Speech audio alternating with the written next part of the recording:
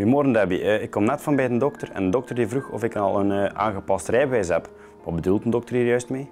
Wel, bij de aanvraag van een rijbewijs moet je een verklaring ondertekenen dat je in algemene goede toestand verkeert en dat je geen ziekten hebt die de rijvaardigheid kunnen belemmeren. Eh, dit betekent dat je bij een aantal medische aandoeningen, zoals uh, hartritmestoornissen, epilepsie of slaapstoornissen, maar ook bij diabetes, je rijbewijs uh, moet aangepast worden. Bij diabetes zijn er een aantal acute problemen die ervoor zorgen dat rijvaardigheid kan belemmerd worden. Bijvoorbeeld hypoglycemie. Een hypo tijdens een autorit uh, kan zich uiten in bijvoorbeeld uh, moeilijker op de rijstrook kunnen blijven of verkeerstekens over het hoofd zien. Maar er zijn ook een aantal chronische problemen die de rijvaardigheid kunnen belemmeren, zoals gezichtsproblemen, uh, hartproblemen of zenuwpijnen. Bijvoorbeeld niet voelen als je voet op de gas of op de rempedaal staat. Is dat nodig voor alle diabetespatiënten? Dit uh, geldt voor alle diabetespatiënten, ongeacht het type of de behandeling, behalve voor vrouwen met zwangerschapsdiabetes die een aangepast dieet volgen. Okay. Uh, en wat gebeurt er als ik dat niet zou hebben, zo'n aangepast rijbewijs? Uh? Indien je niet voldoet aan de wettelijke criteria voor geschiktheid, is je autoverzekering niet geldig.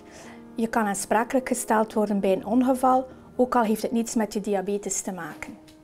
Uh, en van examens of zo, moet ik mijn rijbewijs opnieuw doen? Of... Nee, dat is niet nodig. En wat moet ik juist doen voor een aangepast rijbewijs te kunnen krijgen? Allereerst moet je voldoen aan een aantal voorwaarden.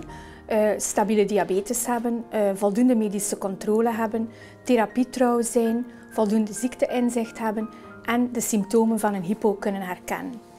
Voor privaat vervoer, dat noemen we groep 1, moet de endocrinoloog een rijgeschiktheidsattest uitschrijven. Voor professioneel vervoer, dat is dan groep 2, moet de endocrinoloog een rijgeschiktheidsadvies opstellen. Er staat op dat attest niet geschreven uh, dat je diabetes hebt, enkel dat rijgeschiktheid beperkt is in tijd. Onder professioneel vervoer uh, verstaan we onder andere uh, vrachtwagenchauffeurs of personen die rijden in opdracht van een werkgever. Ook grotere mobilooms vallen onder professioneel vervoer. zoals ik daarnet al zei, moet de endocrinoloog voor professioneel vervoer een rijgeschiktheidsadvies uitschrijven. Dit gaat dan bij de arbeidsgeneesheer en die schrijft dan het uiteindelijke rijgeschiktheidsattest uit. Soms kan de endocrinoloog twijfelen of een kandidaat geschikt is. In dat geval wordt hij doorgestuurd naar CARA. Meer informatie hierover vind je op de website www.vias.be. Ook belangrijk om te vermelden is dat je een attest van de oogarts nodig hebt. Kan elke dokter mij dat rijgeschiktheidsattest geven? Of? Iedere arts kan een rijgeschiktheidsattest uitschrijven voor privaat vervoer, maar vanaf drie injecties of meer per dag of een insulinepomp is het de endocrinoloog die het rijgeschiktheidsattest moet uitschrijven. Wat is voor mij de kostprijs hiervan? De eerste aanvraag is betalend, maar dat is zeker niet de grote kost. Verlengingen zijn gratis, maar uitzonderingen zijn altijd mogelijk. En als ik dat attest heb, waar moet ik dan mee, juist mee naartoe? Uh, je geeft het af op de dienstbevolking van het gemeentehuis of het stadhuis. Zij zullen dan de nodige aanpassing doorvoeren. Vergeet geen kopij af te geven van dit attest aan je autoverzekering. Is dat eenmalig dat ik dat moet aanvragen? Nee, het aangepast rijbewijs heeft een beperkte geldigheidsduur.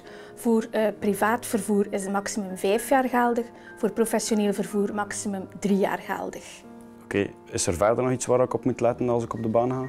Uh, zorg ervoor dat je altijd snelle suiker, bijvoorbeeld cola of druivensuiker, en een aantal snacks bij de hand hebt.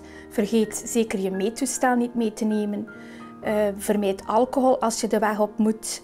Uh, en controleer steeds je bloedsuiker vooraleer je in de auto stapt. Moest je toch een hypo hebben tijdens een autorit, rij dan vooral niet verder, maar suiker je onmiddellijk op en wacht 30 minuten vooraleer verder te rijden.